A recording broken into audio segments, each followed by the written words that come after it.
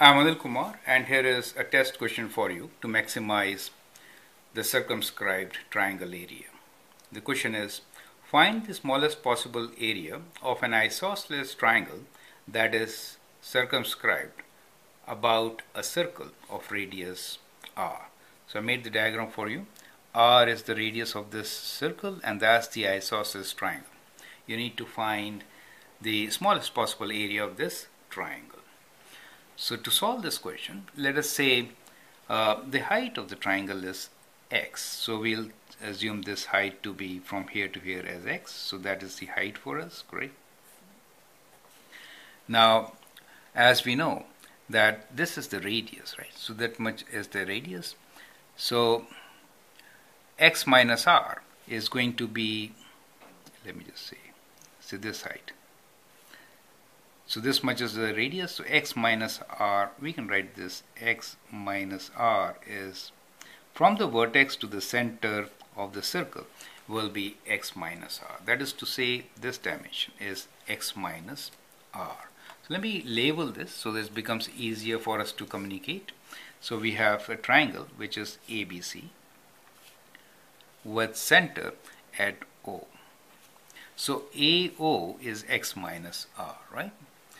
Now let us say this is tangential to the side and we call this point as E and the midpoint here D. Right? This is going to be midpoint since this is an isosceles triangle, right?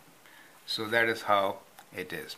Now in this particular case, AO, AO is x minus r. We can find what AE is. So AE now this is right angle triangle. So AE, that's the hypotenuse, will be square of x minus r minus r square. So square root of square of x minus r minus r square. So which we can calculate. So if you calculate this, we'll get square root of x square minus 2xr plus r square minus r square and that is equals to square root of r square minus x square 0 so 2x x square minus 2xr right? So that is AE for us correct? So we found AE from this particular triangle.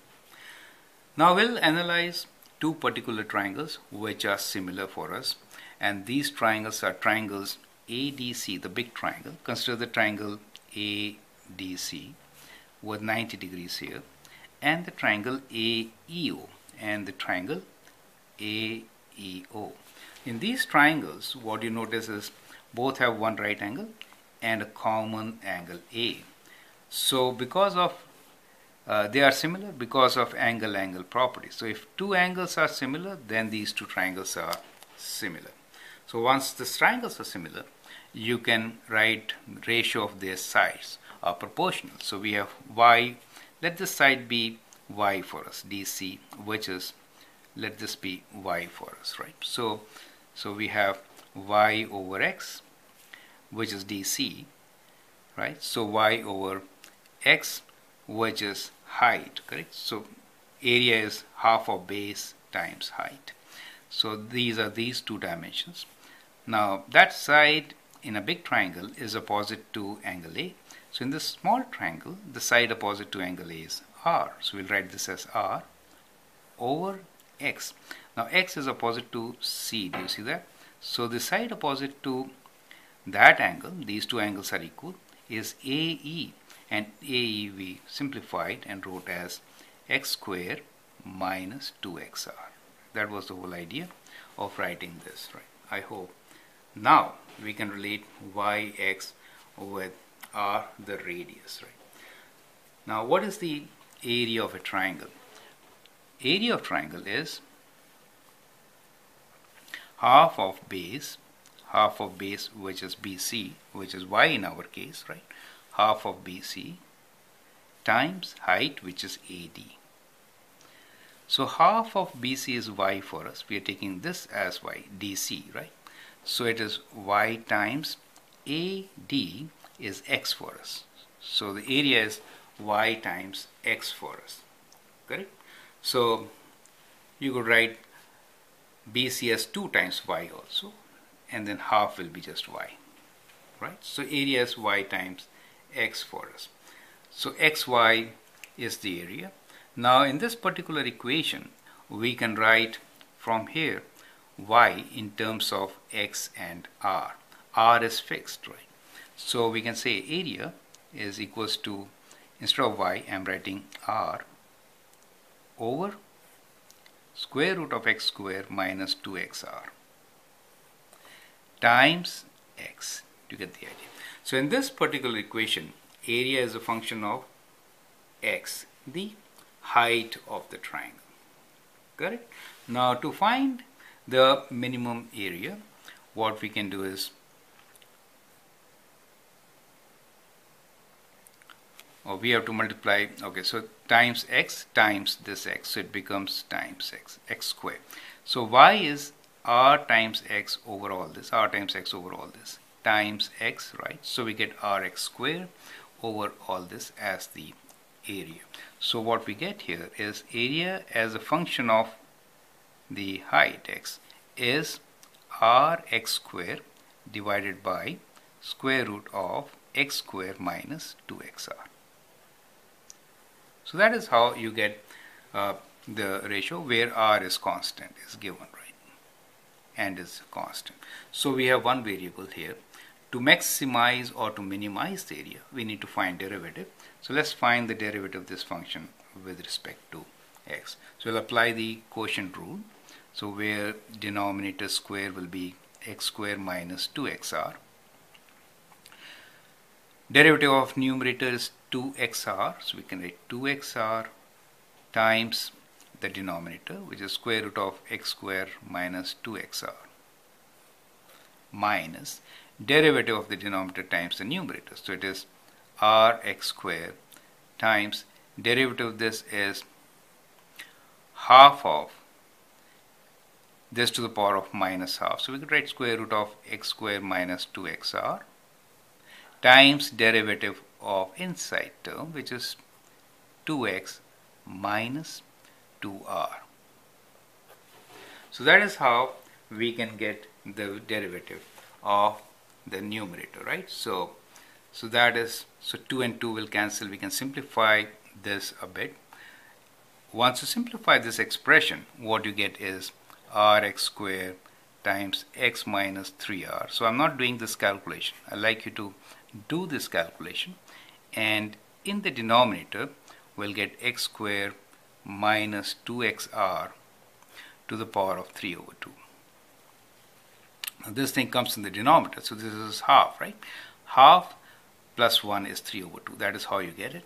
When you cross multiply, the square root square root gets cancelled off, kind of square.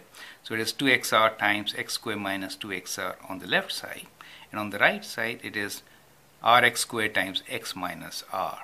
So when you do all the math, you'll get this as an expression. Now the idea is to find the smallest possible area, you need to find the critical point, so equate this to 0. So once you equate this to 0, we have two possible solutions. One is x is equals to 0, the other one is x equals to 3r, right? So x is 3 times r is the other solution. So to you can find the critical point from here. So we say critical point is critical number is when this is 0 that is x is equals to 3r right? So that is how you can find the critical number correct? Now at this stage you can prove that this critical number is minimum by finding either the second derivative or by testing the rate of change of area by checking a value on the vicinity of 3r so what we can do is we can just test whether this is maximum or minimum.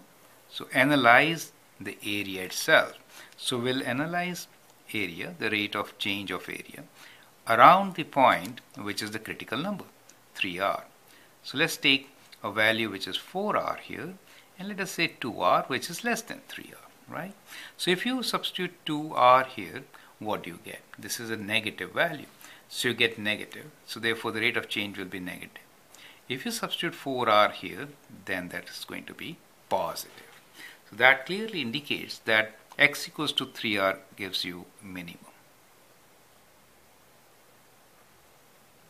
correct it is important to show why this critical number results into minimum right so that is how you get x equals to 3r as the minimum once you know x is 3r r the radius of the circle is given to you you know the dimensions correct? So y value you can find by substituting x equals to 3r correct? In this particular expression.